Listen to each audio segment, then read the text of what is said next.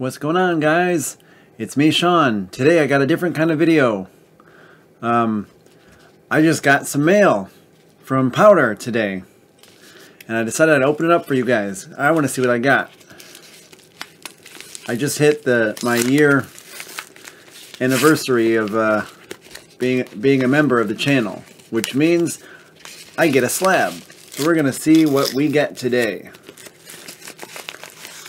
It's a mystery here.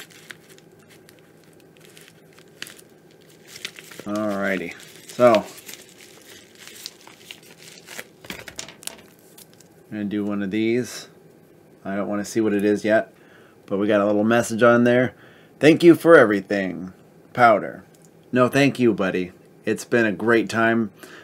It's a great community, and I love being a part of it. So let's see what we got here. Wow, that looks great. Sorry, I'm not good at the centering thing here. It's a Guzma. Guzma. I'm sorry, I didn't, I didn't, I don't know how to say it. I'm bad at these kind of things. And it's a, oh, a 10. Pristine 10. This is an awesome card. This is going to go in the collection with the rest of my uh, graded slabs that Powdr gave me.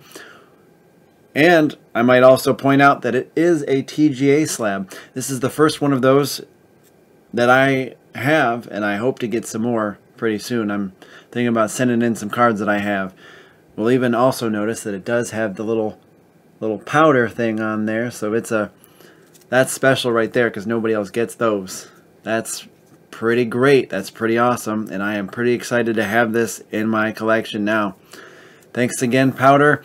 And uh, for the rest of you guys, if you enjoyed this video, give it a like, subscribe if you're new, and I will see you later for the next video. Bye, guys.